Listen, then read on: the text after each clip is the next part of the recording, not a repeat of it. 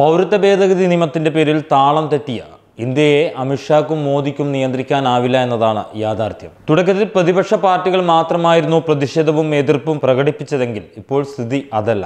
അമിത്ഷായും മോദിയും ഒഴികെ ബി ജെ പി നേതാക്കൾ പലരും ഒളിഞ്ഞും തെളിഞ്ഞും ബില്ലിനെതിരെ രംഗത്ത് വരുന്ന സ്ഥിതിവിശേഷമാണ്. അതുകൂടാതെ എൻ ഡി എ സഖ്യകക്ഷികൾ ബില്ലിനെതിരെ പരസ്യമായി രംഗത്തെത്തിയതാണ് ബി ജെ പിയെ കൂടുതൽ പ്രതിരോധത്തിൽ ആക്കിയിരിക്കുന്നത്. പൗരത്വ ഭേദഗതി നിയമം മതത്തിന്റെ പേരിൽ രാജ്യത്തെ ജനങ്ങളെ ഭിന്നിപ്പിക്കുന്നതാണ് എന്ന പ്രതിപക്ഷത്തിന്റെ നിലപാടിനെ പിന്തുണച്ച് എൻ ഡി എയിലെ കൂടുതൽ ഘടകകക്ഷികൾ ഇതിനോടകം തന്നെ രംഗത്ത് വന്നു കഴിഞ്ഞു. ഇത് ബി ജെ പിയെ കുറച്ചൊന്നുമല്ല പ്രതിസന്ധിയിൽ ആക്കിയിരിക്കുന്നത്.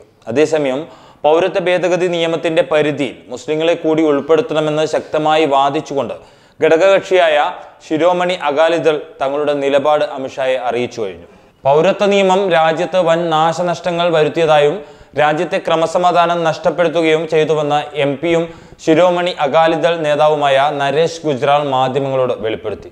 പാർലമെന്റിൽ പൗരത്വ ബില്ലിനെ ശിരോമണി അകാലിദൾ അനുകൂലിച്ച് വോട്ട് ചെയ്തിരുന്നു എന്നുവെച്ച് എൻ ആർ സിയെ പിന്തുണയ്ക്കില്ല എന്ന് ശിരോമണി അകാലിദൾ നേരത്തെ വ്യക്തമാക്കിയിരുന്നു. ഇതിന് പിന്നാലെയാണ് നരേഷ് ഗുജ്റാൾ ബില്ലിനെതിരെ രംഗത്തെത്തിയത്. ബില്ല് കൊണ്ട് രാജ്യത്ത് വൻ നാശനഷ്ടങ്ങൾ സംഭവിച്ചു. അതുപോലെ മുസ്ലിം സമുദായത്തിന്റെ ഇടയിൽ നരേന്ദ്രമോദി സർക്കാരിന്റെ വിശ്വാസവും നഷ്ടപ്പെട്ടു കഴിഞ്ഞു. സമൂഹത്തിൽ ആകമാനം അസ്വസ്ഥതയും ഭീതിയും പരന്നു കഴിഞ്ഞു. ഇതിന്റെ പശ്ചാത്തലത്തിലാണ് സുഖ്ബീർ സിംഗ് ബാദൽ പൗരത്വ ഭേദഗതി നിയമത്തിൽ അടിയന്തരമായി പുനഃപരിശോധന വേണമെന്ന ആവശ്യം ബി ജെ പിയോട് ആവശ്യപ്പെട്ടത്. ഇന്ത്യ ഇന്ത്യ ആവണമെങ്കിൽ ഈ രാജ്യത്തെ വിവിധ മതങ്ങളും വൈവിധ്യങ്ങളും ഭാഷകളും നിലനിർത്തണം. ഇതൊക്കെ ഉൾക്കൊള്ളുന്ന ഒരു സമൂഹമാണ് നമുക്ക് ആവശ്യമെന്നും അദ്ദേഹം തുറന്നു പറഞ്ഞു. ഇന്ത്യ ഒരു മതേതര രാജ്യമാണ്. ന്യൂനപക്ഷ സമുദായങ്ങൾ ഇവിടെ നിന്ന് പുറത്താക്കപ്പെടുമെന്ന തോന്നൽ അവർക്ക് ഉണ്ടാവരുതെന്നാണ് ഞങ്ങളുടെ ആവശ്യം. ഈ രാജ്യത്തെ ന്യൂനപക്ഷ സമുദായത്തെ സുരക്ഷിതരാക്കുന്ന നിയമങ്ങളോ ഓർഡിനൻസോ സർക്കാർ പ്രാബല്യത്തിൽ കൊണ്ടുവരണം. കാരണം എന്നെയും നിങ്ങളെയും പോലെ ഈ രാജ്യത്തെ മൗലിക അവകാശങ്ങളുള്ള ഇന്ത്യൻ പൗരന്മാരാണ് അവരും. അവർ നമ്മുടെ സഹോദരങ്ങളാണ്.